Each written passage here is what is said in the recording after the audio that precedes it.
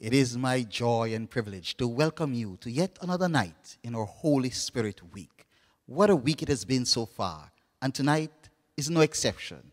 As we look at kingdom blessings of the new covenant, tonight our presenter, Elder Garfield Dorr, is one of our elders here at the Central Seventh day Adventist Church. Tonight he speaks on the topic Blessings on the Meek. I invite you to invite your family and friend to join us as we share in this experience. God bless you as you listen to the Word of God.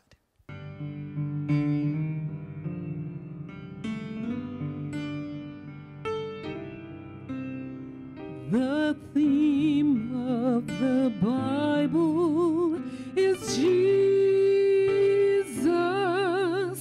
and how he died to save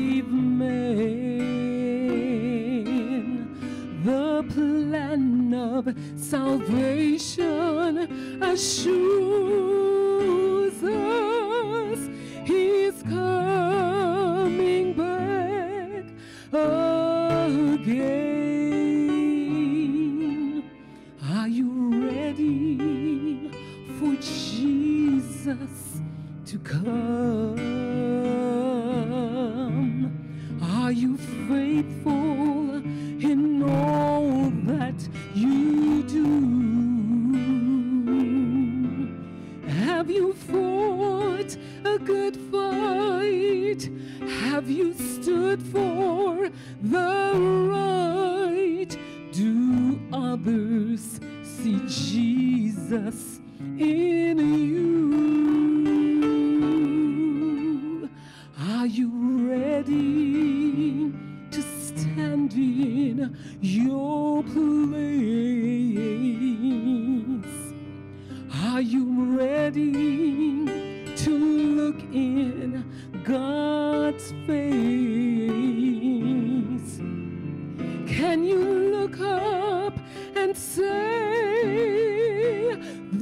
This is my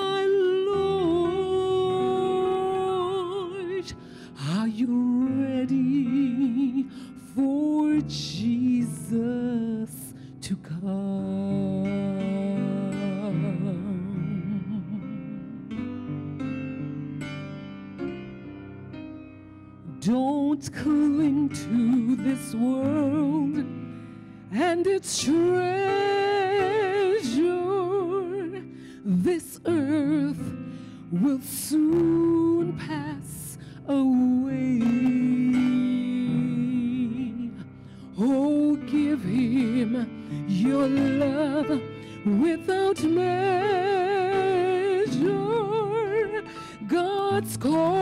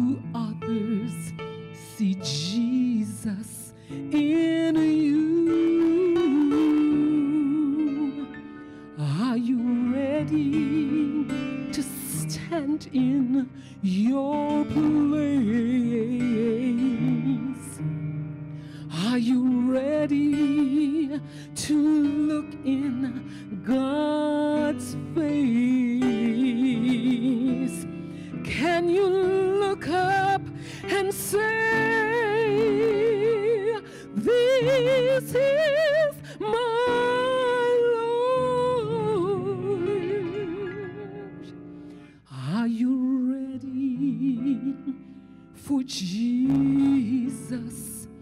Are you ready for Jesus? Saints, are you ready for Jesus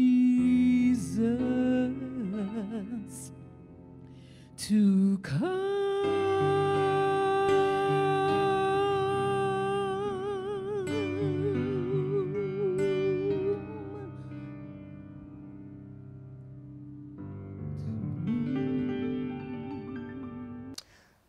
Evening once again as I join the pastor in welcoming you to another evening as we look at the Beatitudes.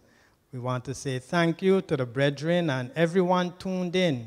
You have done the right thing to hear the word of God, which is so important in our lives today. Again, this evening, the Beatitude we will be looking at is the meek, as the message is entitled Blessings on the Meek, and it was prepared by Sister Sonaida K. Mackenzie, the treasurer of the North Caribbean Conference of Seventh day Adventists. Let's look at this very wonderful word, contrary to how the world uh, looks at it. We look at it from God's perspective. Dear Father, Thank you for guiding us to understand the character you want us to have through these readings and blessings. In Jesus' name we pray. Amen. The main text comes from 1 Samuel chapter 1, verses 1 through 18. The theme, Kingdom Blessings of the New Covenant, highlights the Beatitudes found in Matthew chapter 5, verses 3 through 12. The Beatitudes is a part of the Sermon on the Mount, which contains ethical and religious teachings.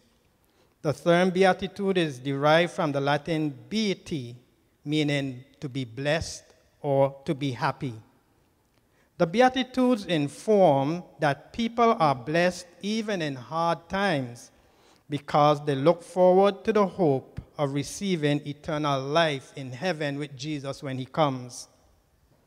We are also blessed now, even now, for having noble qualities such as being meek, merciful, righteous, pure, and peaceable. Tonight we will be focusing on blessing on the meek as amplified in the life of Hannah, one of the wives of a man named Elkanah, as she demonstrates meekness even during a time, a period of great adversity. Among the Bible women that were described as barren are Sarah, Rebecca, Rachel, Elizabeth, which was John the Baptist's mother, and Hannah, who would, who would later get a child and further get, be blessed with other children. The woman we are focusing on tonight. Of Hannah, the Bible says in 1 Samuel chapter 1, verses 4 through 7, and when the time was that Elkanah offered, he gave to Peninnah his wife, and to all her sons and her daughters portions. But unto Hannah he gave a worthy portion, for he loved Hannah. But the Lord had shut up her womb. And her adversary also provoked her sore, for to make her fret, because the Lord had shut up her womb. And as he did from year to year, when they went up to the house of the Lord, Peninnah provoked Hannah. Therefore, she wept and did not eat. When it said Peninnah provoked Hannah, it meant that she provoked, she harassed, she mocked, she made joke of Hannah because Hannah could not have any children. Obviously, this shows us a difference between these two ladies in that Hannah was meek, whereas Peninnah did not know about meekness. Hannah was hurting, and the hurt was deep. She wanted so desperately to be a mother. And like Peninnah, she wanted to hold a baby, put the baby to sleep, and sing and play with the baby. Motherhood is a special privilege and a sacred duty because children are from God and He gives them the responsibility to bring them up to know the Lord and worship the Lord and serve the Lord. That's why it's a sacred duty.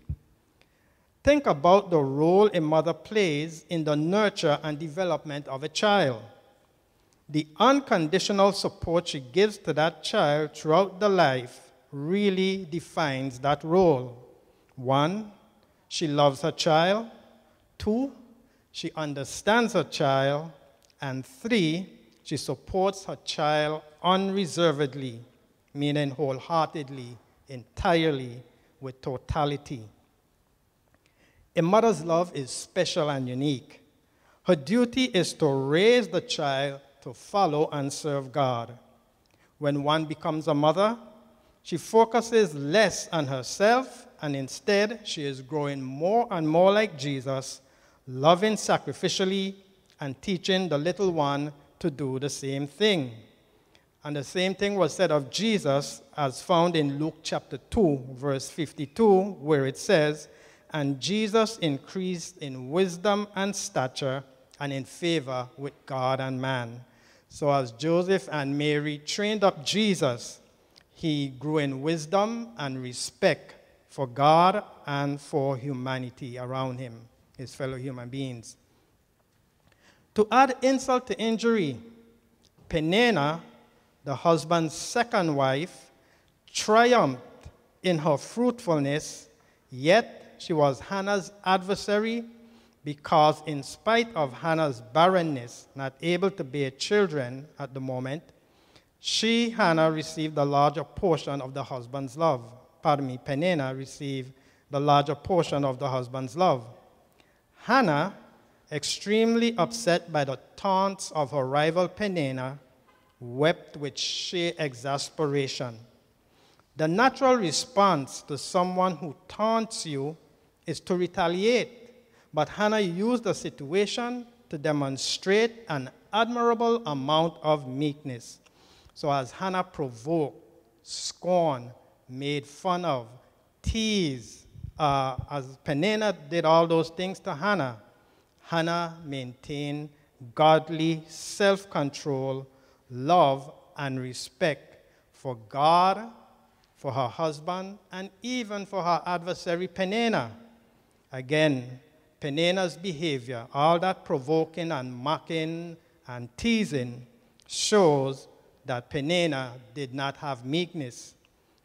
For the first time, as I went over this reading, and as many times as I have read about uh, Elkanah and his situation with these two ladies, something came to my mind for the first time in all these years. Peninnah obviously was a bad example for her children and it made me wonder how her children looked at her. Did they follow her uh, disrespect for Hannah? Or as young children, did they kind of restrain, not knowing what was going on? But obviously, Peninnah was a bad example for her children the way she treated Hannah. While research indicates that meekness is probably the least admirable quality in America today, until now, Jesus, the greatest person who ever lived, was himself meek and lowly as, in this, as indicated in the scriptures in Matthew chapter 11, verses 28 and 29. Matthew chapter 11, verses 28 and 29, Jesus said, Come unto me, all you that labor and are heavy laden, and I will give you rest. Take my yoke upon you and learn of me, for I am meek and lowly in heart, and you shall find rest unto your souls. It is good to be meek because this reading tells us when you are meek, you will be at peace, you will be at rest with God and yourself. Most things wouldn't trouble you so easily, causing stress.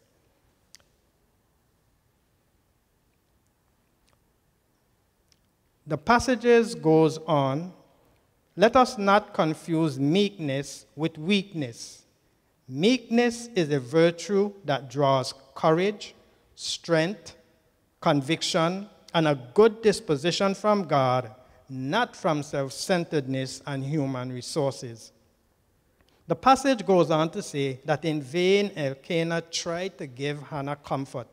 However, in this case, the husband really is not better than 10 sons, as he said to his wife Hannah in 1 Samuel uh, chapter 1, verse 8, because the joy of motherhood is quite distinct from that of marital affection, and especially when a Hebrew woman back in the Israelite economy was barren. Because you see, within the economy of Israel, especially A woman having a child, especially a male child, which they wanted and hoped to get, was the guarantee that she would have food, shelter, and security at whatever point that the husband might die. So, having a son or a few sons, uh, that mother was comforted after the husband's death that she will be taken care of. So, in the Israelite economy, the women really wanted to at least have a son or two. Hannah was desperate, and in her desperation, she did the best thing she could do. She went to the temple to pray. Observe how prayer works in the life of a person who seeks to cultivate meekness. Prayer is the power that enables us to go, our nat- to go beyond our natural inclination. The Bible says in 1 Samuel chapter 1 verses 9 and 10, so Hannah rose up after they had eaten in Shiloh and after they had drunk. Now Eli the priest sat upon a seat by a post of the temple of the Lord. And she was in bitterness of soul and prayed unto the Lord and wept sore. Why do we pray? We pray, we turn to prayer because it is the most personal way to experience God, to encounter Him, and to grow in the knowledge of Him. God's desire is for us to pray on all occasions with all kinds of prayer and supplications and requests, as stated in Ephesians chapter 6, verse 18. So Hannah prayed, and well, guess what happened after she prayed? 1 Samuel chapter 1, verse 20 says, Wherefore it came to pass, when the time was come about after Hannah had conceived, that she bare a son, and called his name Samuel, saying, Because I ask of him of the Lord. Hannah gave, Hannah gave her son to God literally, and this points us towards doing the same thing. She had vowed that if she get a son, she will give him back to the Lord to serve.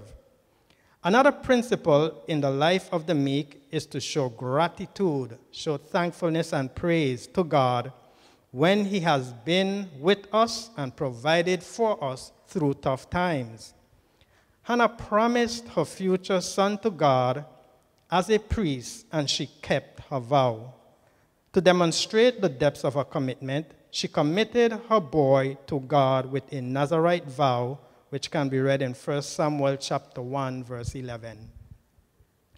According to Jewish tradition, Levite priests served until about the age of 50, Numbers chapter 4 verse 3. Likewise, a Nazarite vow lasted for a limited time, Numbers chapter 6 verses 1 through 21.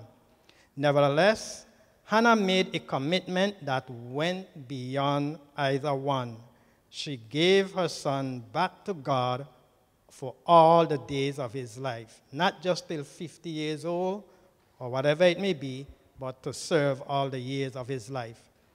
Tonight, God requires your total commitment. And how do we show total commitment to God? I'll give you four points. One, attend church regularly. Two, read the Bible every day. Three, pray to God daily. And four, talk to Jesus about your life habitually. habitually. Tell Jesus everything about you regularly. Have regular prayer, communication, and conversation with God day by day. Have faith before disbelief and love Jesus like a brother. Hannah after thanking God for the blessing of this child, kept her word, and when the child was weaned, along with her husband, she took him to Eli the high priest. 1 Samuel chapter 2, verse 11 says, Then Elkanah went back home to Ramah, but the boy Samuel stayed in Shiloh and served the Lord under the priest Eli. Take note, it was her only son, her only child at that time, but as she had vowed, she gave him to the service of the Lord God. Like Hannah and Elkanah, God gave his only begotten Son. The Bible says that God sent his Son because he loves us. You see, we are helpless, we are ungodly, we are unholy, we are sinners and enemies of God, but still he loves us, and there should be a big hallelujah. John chapter 3, verse 16 declares, For God so loved the world so much that he gave his only begotten Son, so that everyone who believes in him may not die, but have eternal life. If this text never moved you before, as many times as you have heard it, it should move you this time. It should move you now. The son of Hannah became God's mouthpiece, a prophet in Israel. Because of this single act from this meek woman, God opened her womb and she had five more children. Hallelujah. No more provocation, no more mocking and making fun of from Peninnah. 1 Samuel chapter 2 verse 21 says, "The Lord did bless Hannah, and she had three more sons and two daughters." The boy Samuel grew up in the service of the Lord. So, in conclusion, we see that one, Hannah gave her son to serve God, two, Hannah gave her son to worship God, and three, Hannah gave herself to God. I asked you these three questions as we prepare to close, and you can answer them yourselves. How can you be a mother or father who trusts God with your own children? Number two, how can you be an example to your children of a life worshiping God? And number three, how can you make a commitment to lead your children to serve God? I believe the answer is obvious. Your relationship with God through Christ fuels your trust and commitment. My friends, you too can have this relationship.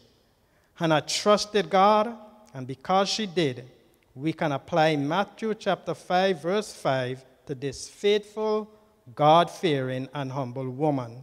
Matthew chapter 5, verse 5 says, Blessed are the meek, for they shall inherit the earth. I just want to point out that's a very wonderful promise. If you are meek, you can inherit the earth made new, where no one will be provoking, miserable, teasing, unbearable. So, how many of you would like to join me in cultivating, receiving this spirit of meekness from God? Please, wherever you are, raise your hands if you want this character through that one word, meekness. Raise your hand wherever you are. God will see it. I might not. Don't worry about me. God sees your hands. So let us seek to follow this disposition of courage and meekness. Let us pray. Our Father and our God, we thank you for educating us properly about how to be meek. Meek means being having self-control, love, peace, patience, and so many other wonderful things. Another beautiful thing about being meek is each individual will have less stress because they will have a better understanding of the conditions of life and will handle it more better. Being meek will also improve our health because in God we would worry less, knowing that God is in control. So help us to be meek so that we can inherit the earth and be with Jesus for all eternity. To everyone who raised their hands, in Jesus' name we pray. Amen.